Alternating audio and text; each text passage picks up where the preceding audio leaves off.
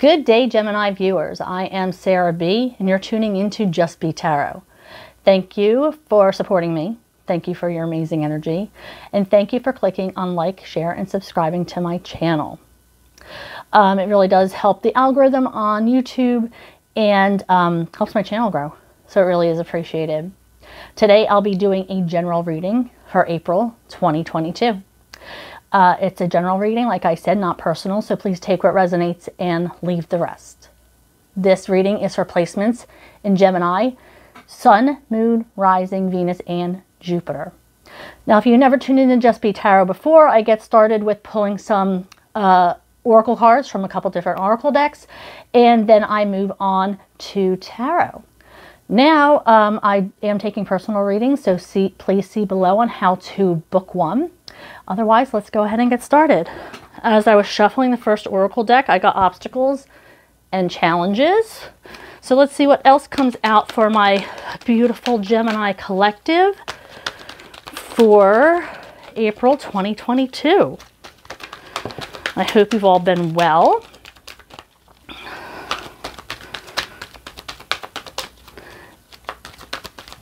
All right, so we have Triumph see if there's, okay, this one wants to come out. It is show, it tell, calling to me.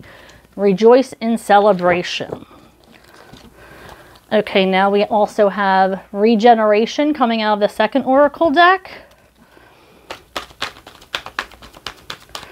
What else do we have? Ooh, holy moly. Let's see.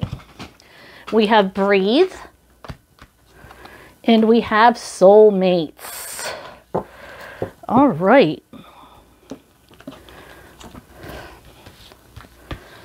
Okay, so I, I really do think that um, you are going to have some success in overcoming things that you've been trying to conquer, either within or maybe you have a project outside. Um, maybe you're doing um, work on your house, or maybe you're uh, trying to transform inside. Either way, whether it be something physical or internal, I believe that there's going it's going to be very successful. I mean, obviously, all these cards are screaming celebration, success, triumph.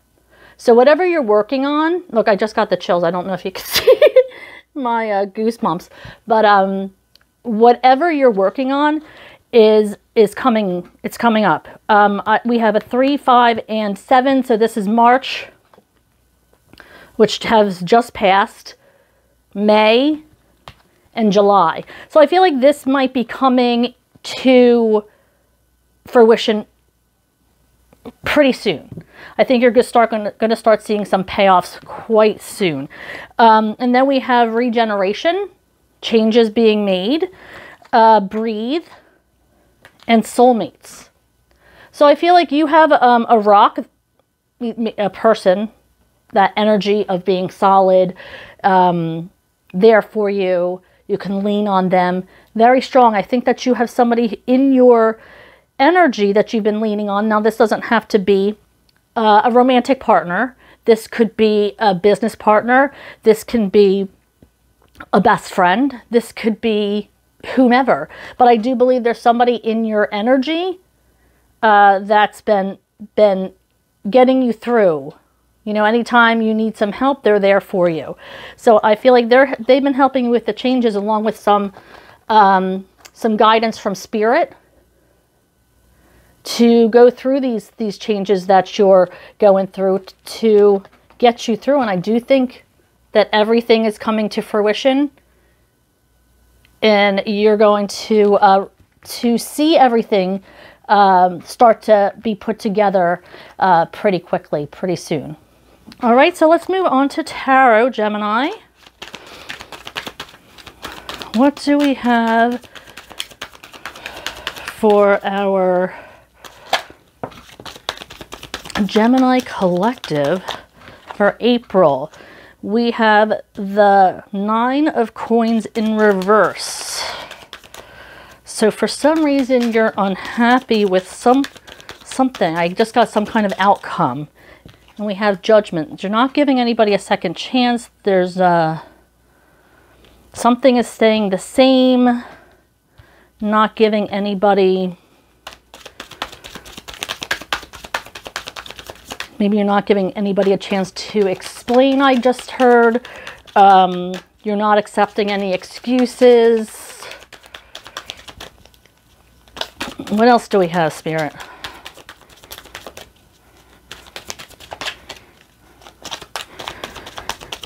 Thank you for the messages so far. What else do we need to hear for our Gemini Collective? If you haven't already, please click on like, share, and subscribe. I really would love to ha have you click that like button. We have Wands, Five of Wands in reverse. So the chaos is coming, um, is settling. This is your energy. So the chaos is settling. You might be feeling less um, in your head about something um, you know, when you're in, in your head about something, it also affects you physically. So you might be feeling like you can breathe a little bit better, that you um, are able to think a little bit clearer. So I feel like the chaos is settling in your life once you've made this like you're not taking any excuses. You're not uh, putting up with the bullshit anymore. You might be not happy about what's happened, but you're also not willing to put up with the bullshit either.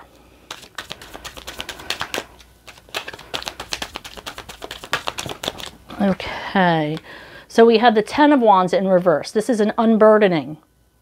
This is you uh, getting the weight lifted off your shoulders. You feeling like you finally are free from something.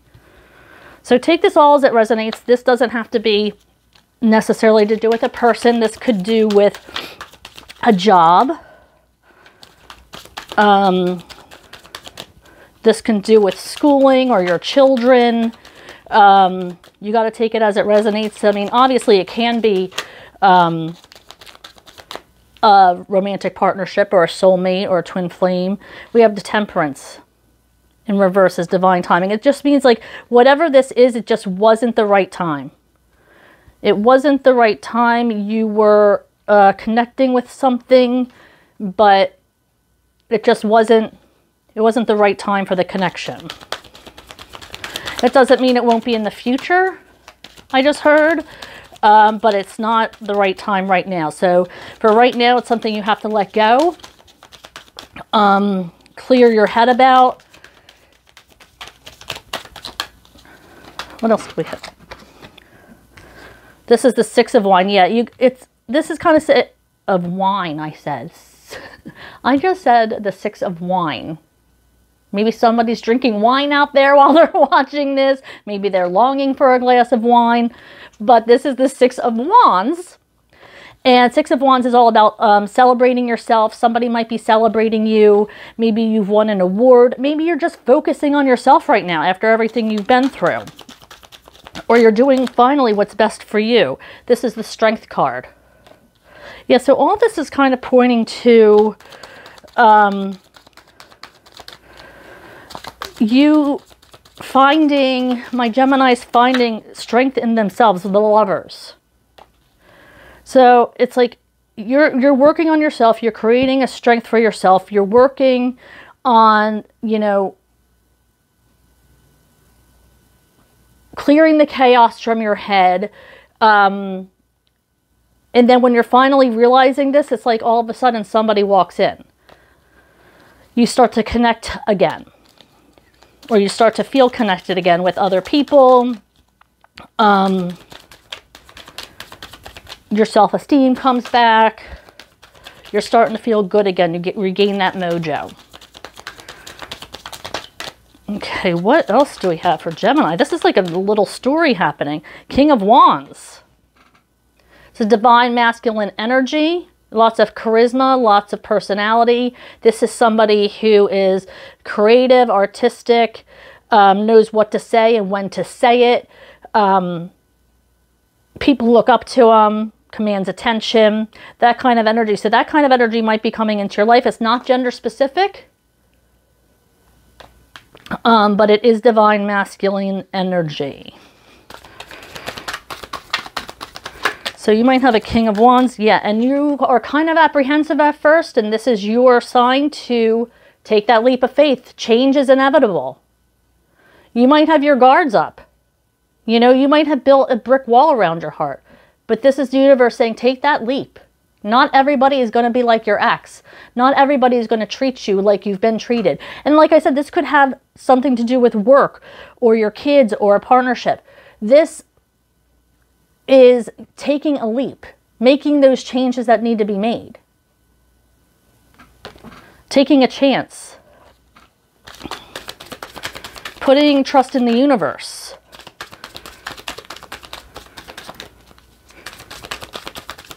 Okay, what else do we have? The Emperor in reverse. Okay, so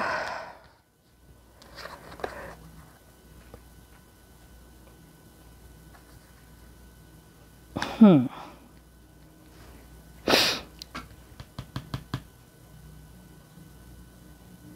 You might be walking away from somebody in emperor status. I think I need to clarify this one. I feel like the universe is almost asking you to stay strong. This might be an, another option for you. This Emperor in reverse might not feel be feeling um,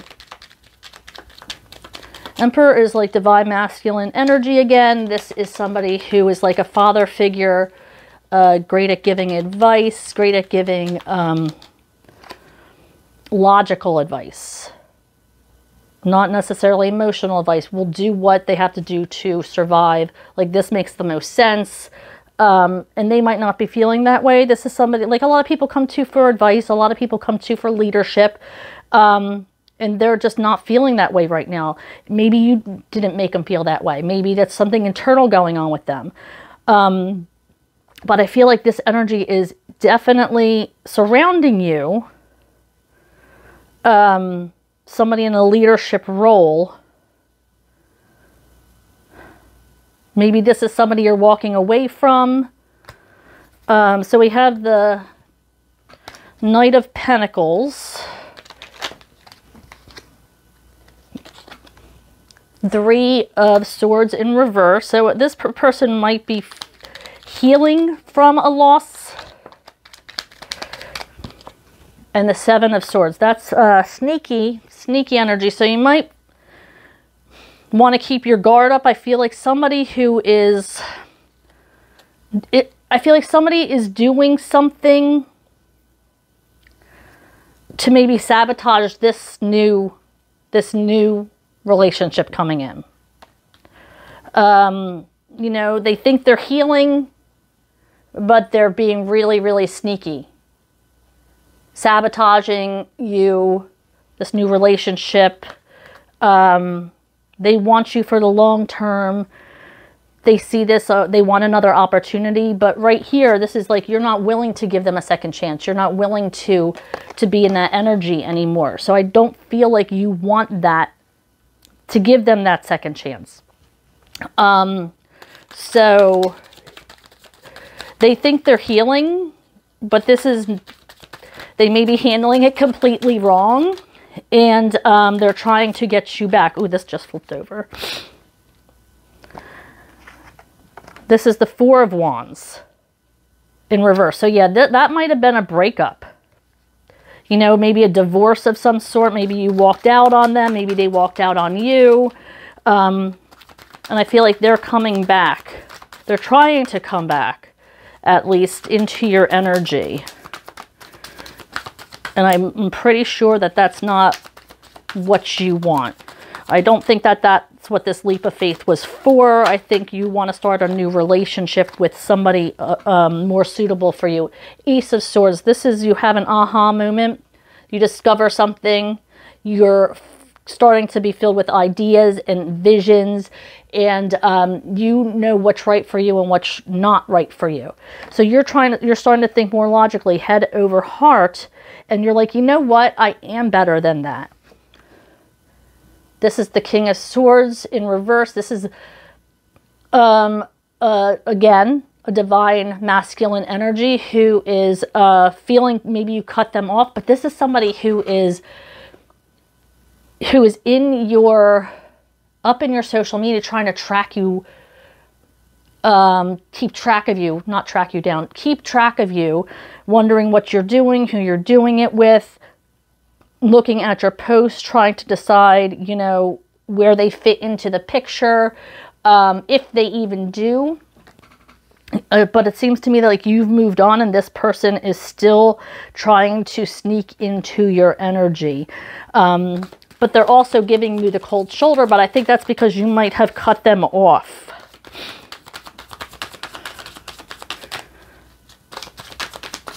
I think you might have been the one to be like, peace out, I'm done. Okay, and then we have the Eight of Cups was you walking away. You know, you seemed like you had it all. You Maybe you had the house, the kids, the white picket fence. Um, but that doesn't mean anything. You know, what you're feeling inside is what you're feeling inside. So just because things seem so beautiful on the, all your cups are full but you still are looking for that ninth cups that leads to happiness. So there's something that you have to ascend to to complete yourself. So this is you trying to figure out what what else you need. What else is going to make you happy? And by looking inward, you you're the one who can only decide that.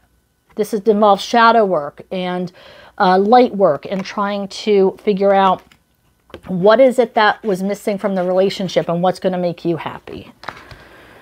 All right, so let's go. These are, uh, this is a new deck. It's called Life Purpose. So I'm going to pull a, some cards from this one to get some messages from Spirit before we close out the reading.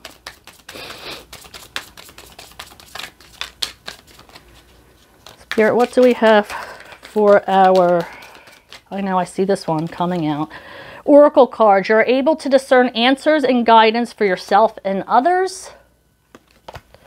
We have leadership. Take charge of this situation. What else do we have for our Geminis? For their life purpose for April 2022. What else do they need to hear for their greatest good? We have heart's desires. The angels are supporting, guiding, and protecting you as your dreams become reality.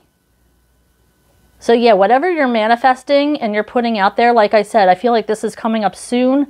Whatever you're manifesting, um, you're going to be triumphant in. I said that in the beginning. And um, you're, you're divinely protected. You know, whatever it is that you're trying to manifest, I feel like as long as you keep your energy positive, your mind open, and we have infinite abundance, you're fully supported as you devote yourself to your divine life purpose.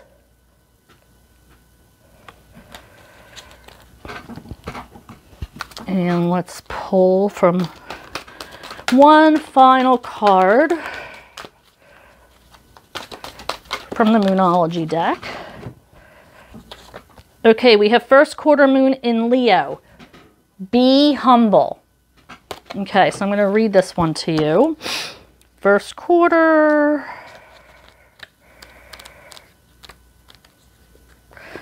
In Leo.